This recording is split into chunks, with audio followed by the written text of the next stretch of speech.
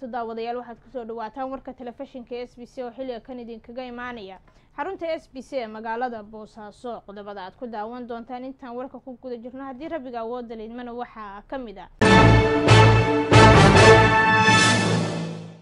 khasaare hantiyadeed oo kala duwan oo ka dhashay dab xoogan oo ka kacay isgoyska banaadir ee magaalada muqdisho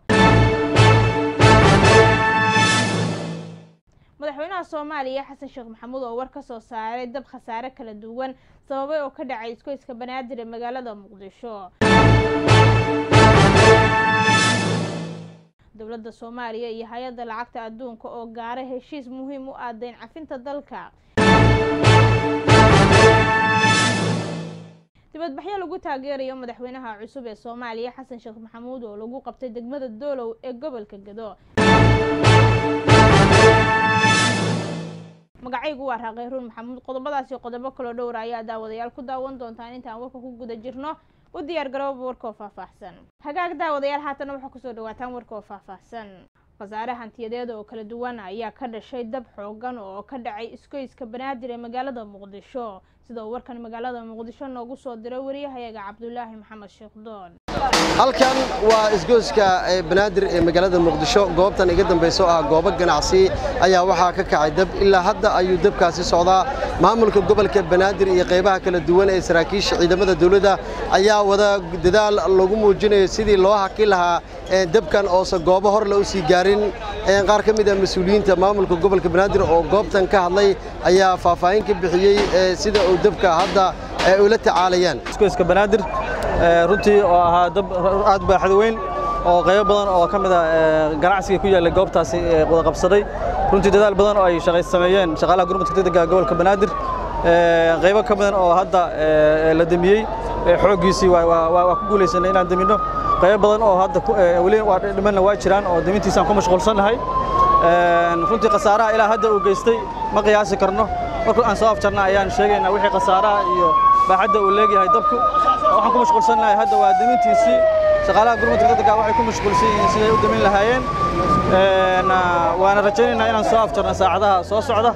Waa naga tacsiyanaynaa cid kasta oo maaragta soomaaliyeed oo runtii dabkaas waxyeele ka soo gaartay ama ay khasaaro ka soo gaaray ama saamayn guud iyo midda danba ay ka soo gaartay. Waa ka tacsiyanaynaa insha allah markaan soo afjarno saacadaha soo socda ayaana sheegaynaa dhammaan wixii khasaare ee la xidhiira dabkan sidaa ujeedaanna hadda weli howlgalkiisii waa socdaa gaadiidka iyo shaqaaluhu waa ku mashquulsan yihiin siday u soo afjari lahaayeen. Waana rajaynaynaa inaan guulaysanno oo si fiican aan maaragta u dumino suuqa degmada hodan ee isgoyska banaadir runtii sidaad u jeeddaanba caawa. Waxaa halkani ka kacay dab weyn oo aad u xooggan ilaahay xamdigiis gurmadkii ay sameeyeen kooxda gurmadka degdega ee dowladda hoose xamar waxaan ku guulaysanay intiisii badnayd dabka inaan hadda hakinno welina wuu socdaa laakiin intiisa badan waa ka guul keennay waxaana rajaynaynaa intii aanan xilliga dambe la gaarin in dabka uu naga soo afjarmi doono haddii ilaahay yidhaaho. Ilaahayna waxaan ka baryaynaa inuu ummaddan beddel kheyr qaba siiyo. Dabkaanan caawa halkuu hadda joogo uu ilaahay noogu ekeeyo. Musiibadiisa iyo dhibaatadiisana aysan hore noogu sii socon.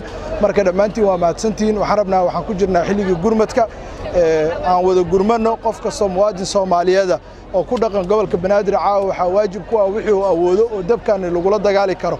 Inuu halkan soo gaarsiiyo waxaan rajaynaynaa inaan dabka ka guulkeenno hantida uu hadda gaara mooyaane meel cusub inaysan ku fidin. Ilaahay idinkiisa dhammaanteenna wada kaashan doonaa waa mahadsantihiin cabdulaahi maxamed sheekdoon warbaahinta s b c muqdisho madaxweynaha soomaaliya xasan sheekh maxamuud ayaa war ka soo saaray dab khasaare kala duwan sababay oo ka dhacay isgoyska banaadir ee magaalada muqdisho.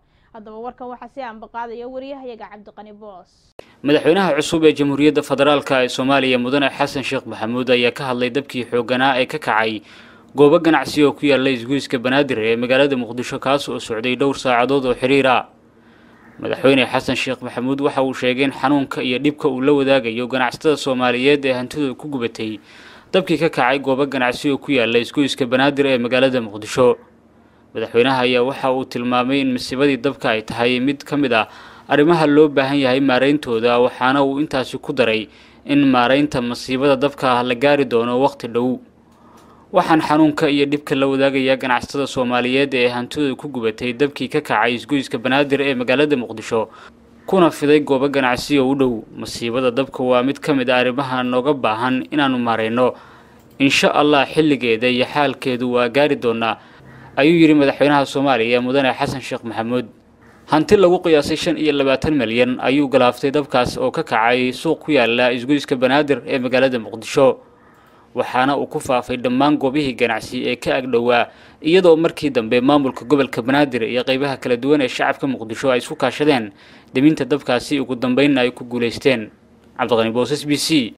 Dowladda soomaaliya iyo hay'adda lacagta ee adduunka ayaa gaaray heshiis muhiim u ah dayn cafinta soomaaliya sida uu ku faahfaahinayo wariyahayaga yaasir cabdiladiif. Wasiirka wasaaradda maaliyadda xukuumadda federaalk soomaaliya ee xilgaarsiinta cabdiraxmaan ducaale beyle ayaa shaaciyay in dowladda soomaaliya iyo hay'adda lacagta adduunka ee i m f ay gaareen heshiis muhiima qoraal kooban uu soo dhigay wasiir bele bartiisa gaarka ayuu ku sheegay in dowladda soomaaliya iyo i m f ay gaareen heshiis muhiim u ah geedi socodka deen cafinta iyo weliba dib oogista wejiga labaad iyo weliba saddexaad ee barnaamijka e c f ee dibhabeynta hanaanka maaliyadda iyo horumarinta dhaqaalaha dalka wasiirka maaliyadda xukuumadda xilgaarsiinta ayaa intaas ku sii daray in hay'adda lacagta adduunka ee i m f ay ballan qaaday inay si dhow ula shaqayn doonto.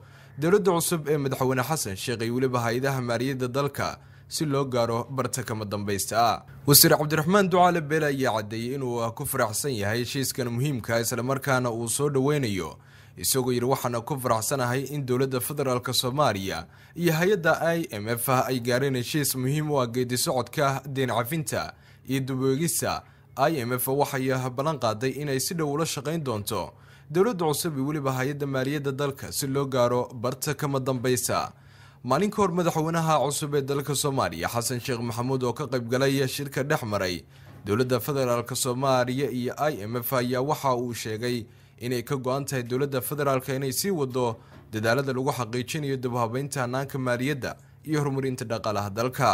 Yaasir cabduladiif yaasir arafaad s b c boosaaso jaamacadda bariga afrika faraceeda degmada burtile ayaa soo gabagabaysay imtixaankii sana dugsiyeedka labada kun labaatan iyo kowda labada kun labaatan iyo labada sida uu ku faahfaahinayo waryahayaga mawliid maxamed kooshin jaamacadda bariga afrika farcada degmada buurtinle ee gobolka nugaal ayaa maanta soo gabagabaysay imtixaanka sana dugsiyeedka laba kun koob iyo labaatan laba kun labaiyo labaatan. Ugu horeyn gudoomiye ku-xigeenka jaamacadda bariga afrika farcada degmada buurtinle ustaad faarax xasan salaad ayaa faahfaahin ka bixiyay ardada imtixaanka u fadhiisatay iyo kuliyadaha ay ka kooban yihiin isagoona xusay in degmada buurtinle deegaano ka baxsan ardada qaarkood ay ka yimaadeen isagoona fariin u diray. Ardadii ka baxday dugsiyada sare maanta waxaa noo soo gabagaboobay imtixaankii semesterkii labaad ee sana dugsiyeedka ee jaamacadda bariga afrika faraceeda buurtille. Ilaahay mahadiis imtixaankaas wuxuu socday muddo toban maalmooda. Imtixaankaas waxaa ka qayb galay shan kuliyadood oo kale ah.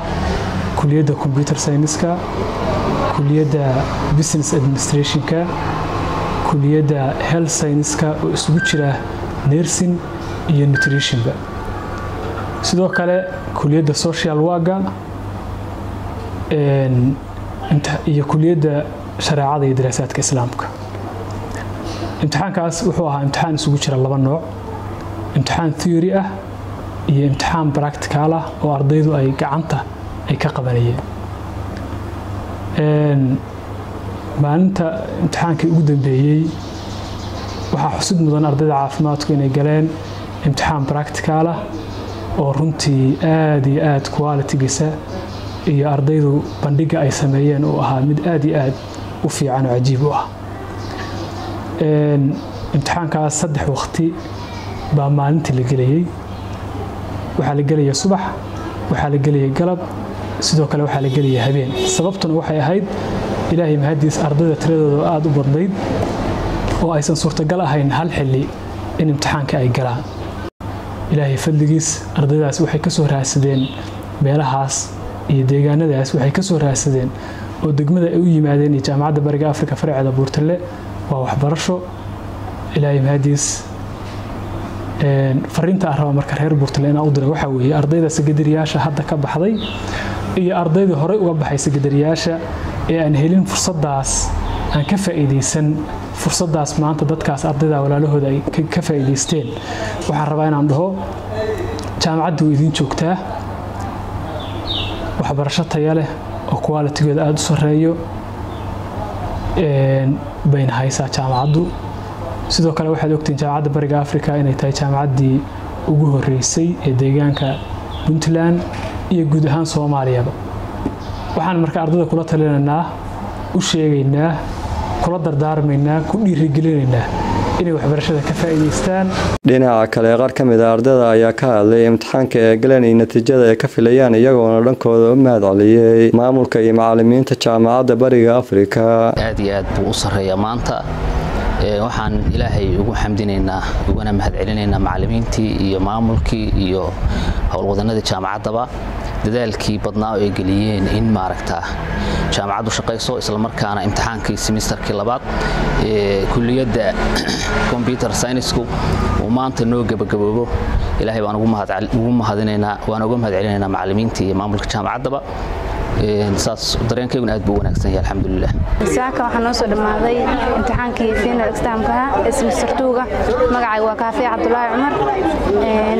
Waxaan dhigtaa semesterkii labaad. Alxamdulilah saaka ilaah ayaa mahad leh imtixaankii si qurux badan ayuu noogu soo dhammaaday. Maadada first aidka insha allah waxaan rajeynayaa darajo fiican inaan keeni doono. Aniga iyo dhammaan ardayda asxaabtayda ah. Waxaan ka imaaday degmada mindhiciraan ayaan oga imaaday xaggaan. Tuulada mindhiciraan ayaan xaggaan oga imaadaa si aan wax u barta awgeed alxamdulilah rabbilcaalamiin ilaahay baa mahad iskale iina suurtageliyey iima aysan suurta gasheen inaan sii wata waxbarashadayda haddii aysan lahaan lahayn degmadeena buurtinle jaamacad yeelay ma heleen meel u dhow oo aan ka barto jaamacad. Maxaa la yidhahdaa aniga magacaygu waa maymuun cabdaar aadan waxaan ka mid ahay ardada dhigata digriga facultigayguna waa nutrition. Waxaan u mahad celinayaa ardada maanta labada sano dhammaysato digriga maanta hadda ka hor waqtigii wuxuu ahaa macnaa waqti haddan waxaan isdhahaynay maxaa la yidhahdaa waa waqti dheer haddan saas tahay labadii sano waa ay soo dhammaysteen aadan ugu faraxsanahay ardadaas maanta qalanjibinaysa dareenkayga haddaan cabiro aad iyo aad buu exaamku fududaa insha allah waxaan rajeynayaa inta noo dhiman inay guul noogu soo dhammaato. Kayga maanta aad ayaan u faraxsanahay maadaama aan galay imtixaankii semesterkii afraad. Maadadii u dambeysay imtixaanka maasha allah maasha allah waxaan rajeynayaa guul iyo bashbash iyo barwaaqo iyo inaan qayb weyn ka keeno imtixaankii aan galay oo maanta ii soo gabagaboobay waxaan ahay arday ka tirsan jaamacadda bariga afrika kuliyadda b b eda semester for runtii waxaan aad ugu faraxsanahay inaan ka mid ahay ardada jaamacadda bariga afrika burtinle. Ilaahay waxaan ka rajeynaynaa guul. Waa sacdan maxamed aadan oo ka mid ah ardada dhigata bariga afrika kombaskeeda buurtinle inta maalmood wax soo raaca gaari. Anoo gelinka hore ka shaqaynaya amsiaadka degmada xarfo. Haddana duhurkii jaamacadaha galabtii galabtii baa la jaamacadda fakaltigeenna waxaan soo raacaa gaari haddana waa noqdaa. Saa subaxdama shaqadayda iga baaqan waa firdowsi xirsi maxamed waxaan ka mid ahay ardayda maanta nasiibka u yeelatay inay u fariistaan imtixaanka. Aad iyo aad baan ugu faraxsanahay. Anugu waxaan ka mid ahaa dadkii toban sano ka hor dugsi sare dhameeyey intaasna bilaa jaamacad. Mawliid maxamed kooshin warbaahinta s b c degmada buurtinle. Dibadbaxyo xoogan oo lagu taageerayo madaxweynaha cusub ee jamhuuriyadda federaalk ee soomaaliya xasan sheekh maxamuud ayaa maanta lagu qabtay degmada doolow ee gobolka gado qaar ka mid ah dadka dibadbaxyada dhigaya oo warbaahinta la hadlayna hadaladoodii waxaa ka mid ahaa. May fadaane anna o ah af maaymaayka kii kala dahowe xasan sheekh maxamuud walaalow kiin baahagna dawladaan baahagna. Anta may roogtaa intaasoo kun oo oo qaxoote ah iyo roog iyo degan oo kabaase dhatiya degan oo doolow dhatiya degan intaas dhan ma imbaahagnaa ma imbaahagnaa ineeda garabkaana nagata ineeda kooyta gobolka gadalakii araga. Oo una meelunsada una geeg hakiinka bannaan banne uda kooyto una haniinka hambalyayto fadaan xasan sheekh maxamuud waa u mahadnaqaynaa waana soo dhowaynaynaa waxaan mar labaad iyo mar saddexaad iyo mar afraadba u mahadnaqaynaa madaxweyne xasan sheekh maxamuud oo aad loo yaqaano horeyna u soo noqday madaxweyne. Waxaan ka filaynaa madaxweynenimadiisa asagoo muxuu ahaa nin aad u soo shaqeeyey ah waa soo dhowaynaynaa aad iyo aad baan u soo muxuu ahaaye waana mahadsantihiin bannaanbixiina aad ku soo dhowaynaysaan madaxweynaha jamhuuriyadda federaalka soomaaliya. Aad iyo aad baad u mahadsantihiin waxaan halkan ugu hambalyaynayaa madaxweyne xasan sheekh maxamuud oo aan anigu qiyaasaya madaxweynaha ugu nasiibka badan inuu yahay. Madaxweyne waxaan kaa filaynaa adigoo ah madaxweynaha ugu waaya aragsan oo xilkan hadda uusan kuu kow ahayn oo ay kuu tahay waaye aragnimo. Marka waxaan kaa rajaynaynaa haddii aan nahay gobolka gedo annagoo anoo ku hadlayo afka guurtida odayaasha dhaqanka ee gobolka gedo khaas ahaan degmada doolow waxaan kaa rajaynaynaa inaad si wanaagsan noola shaqayn doonto annana kuula shaqayn doonno. Mayka lahaa walyarowkan oo dhumusoy madawiine lajahyaalangashantumaw leebtu welente unolana ma aragne libintunkiin dhibney lankoogaadaw male lijeed hoola lankoogaadaw male hoola lijeed haddana insha allahu tacaala madaxweyne xasan waxaan ka rajaynaynaa horumar wanaag midnimo. Kolley wuu arkayaa saddex maalin afar maalin. Dad baa bannaanka ku taagan oo iska socdo dadkaas ayaka waxaan rajaynaynaa insha allahu tacaala darangeenoa inuu siiyo. Waxaa aabbo nugu ah oo nugu weyn xasan sheekh maxamuud. Inta ka soo hoosaysana waa jaranjaro. Ilaa heer degmo. Ilaa heer guddoomiye xaafadeed bay ku imaanaysaa nidaamka ku imaanayaa soomaaliya dowlad baa ka jirto midnima ka jirto midnimada iyo soomaalinimada geesa ka raacan hagaag daawadayaal haatan wararkii dibadda.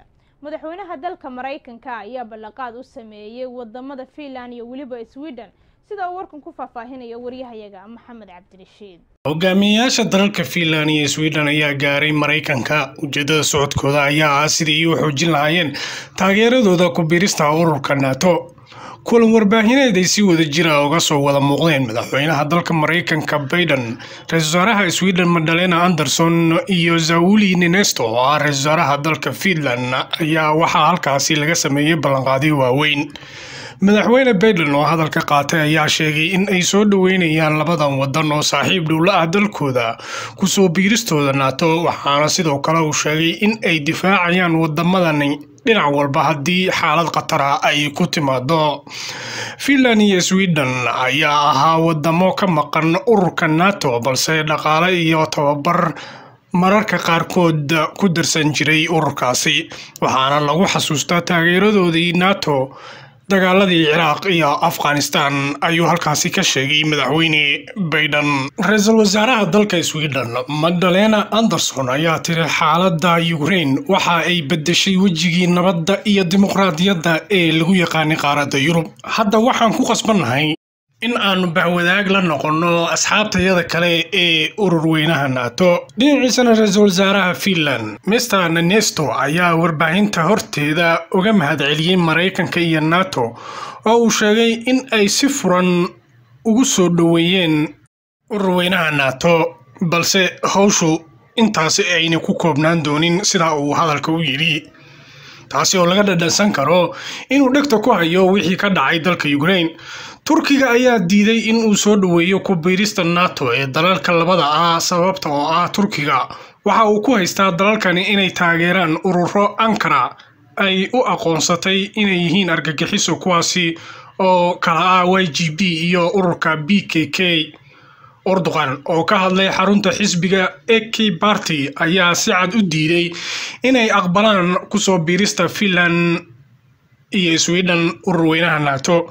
Waxaana uu sheegay inay marka hore soo dhammaystiraan kana jawaabaan su'aalaha ku hogaanaya dalalkaasi ee ku aadan taageerada ay siiyaan ururadaasi oo turkigu uu aqoonsan yahay in ay yihiin ururo argagixiso ah wasiirka arrimaha dibadda ee turkiga mafis oglo iyo xogayaha arrimaha dibadda ee dalka maraykanka antony blinkan oo si wada jira u soo muuqday ayaa sheegay in arrintani si deg dega loo xallin doono maadaama dalalkan labada ah ay haatan wadnaha farta ku hayaan. Kadib saxiixoodii ay saxiixeen inay ku biiraan ururweynaha nato. Master oglo ayaa taa raaciyey in dowladdiisu tabasho ka qabto labadan dal ee haatan ku soo biiray nato taasi oo uu sheegay in la doonayo in ay si cad uga jawaabaan su'aalaha turkigu uu qabo. Si kastaba ahaatee waxaa cabsi weyni la soo deristay shacabka labada dal oo ruushku horaanba u sheegay inay la kulmi doonaan cawaaqib xumo maadaama ay ku biireen dalalka laysku yidhaahdo nato su'aasha inta badan la isweydiinayo ayaa ah nato iyo maraykanka ma difaaci doonaan dalalkan maadaama dhagaha yurubiyaanka ay ka sii qaylinayso wixii gaaray ukraine oo sidan oo kale ballanqaadyo ay heshay ku turanturootay dhulweynaha ruushka taasi oo dharbaaxo xooglihii ay kala kulantay maxamed cabdirashiid s b c guud ahaanba daawadayaal intaas ayaan ku soo gabagabeynaya warka ka daawanayseen telefishinka s b c warka waxaa idin tabinaysa anigoo raaqiyo maxamuuda. Stuudiya s b c ee boosaaso ayaan idinka tabinaya oo ku mahadsantihiin daawashada wararkayaga intaan war ka mid la mid ama dhigiisa ku kulmi doono? Haddii rabbiga awoodda leydma waxaan idinkaga tegaynaa. Sidaas iyo nabadgelyo